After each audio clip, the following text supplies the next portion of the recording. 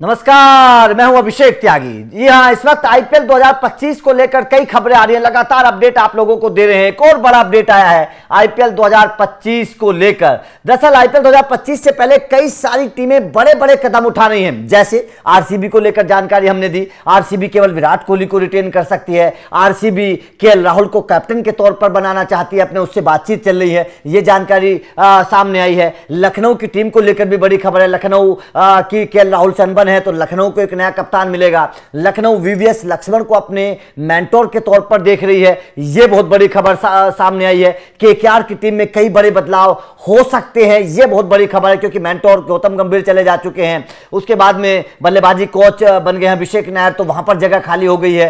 तो के में कई सारे बड़े बदलाव आपको इस बार देखने को मिल सकते हैं। गुजरात की टीम के बारे में हमने आपको बताया। गुजरात की टीम का नाम तस्वीर सब बदल सकती है क्योंकि गुजरात की टीम दूसरे हाथों में जा सकती है। तो कई सारी जानकारियाँ इस वक्त आईपीएल 2025 से पहले सामने आ रही हैं। कुछ टीमों की रिटेंशन पॉलिसी को लेकर टेंशन है कि भाई साहब, हम तो चार से ज़्यादा खिलाड़ी रिटेन करना चाहते हैं। बीसीसीआई की मीटिंग सभी टीमों के साथ होगी। लगातार जानकारियाँ आप लोगों को हम आईपीएल 2025 से पहले दे रहे हैं। लेकिन एक और जानकारी आई है, राहुल द्रविड़ को लेकर।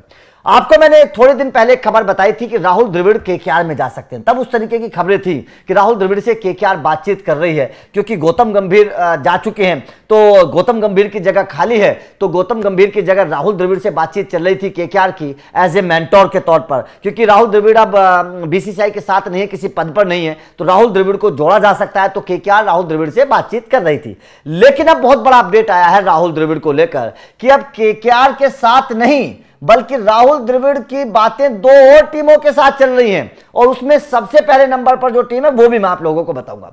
दरअसल राहुल द्रविड़ की जो बातचीत चल रही है तो दिल्ली कैपिटल के साथ चल रही है, क्योंकि दिल्ली कैपिटल से रिकी पोन्टिंग को आपको पता है, हटा दिया गया है। बहुत बड़ा बदलाव दिल्ली कैपिटल में भी हुआ है, रिकी पोन्टिंग को हटा दिया गया है तो राहुल द्रविड़ दिल्ली कैपिटल में भी जा सकते हैं। लेकिन जो बड़ा अपडेट है, वो है राजस्थान रॉयल को लेकर।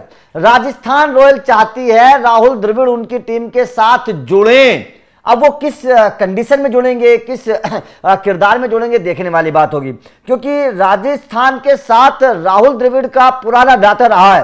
राजस्थान रॉयल के खिलाड़ी भी रहे हैं, राहुल द्रविड़, कप्तान भी रहे हैं। राजस्थान के साथ राहुल द्रविड़ का पुराना नाता रहा है। तो ऐसे में राजस्थान चाहती है कि राहुल द्रविड़ उनके आइकॉन खिलाड़ी हैं। राजस्थान की टीम की पहचान राहुल द्रविड़ के साथ होती है। तो इसीलिए राजस्थान चाहती है कि राहुल द्रविड़ को अपने साथ जोड़ लिया जाए। अब बातचीत चल रही है। देखने वाली बात होगी। हालाँकि राजस्थान पिछले कई सालों से बड़ा अच्छा परफॉर्मेंस कर रही है। संगकारा उस टीम के साथ है, संजू सैमसन उस टीम के साथ है।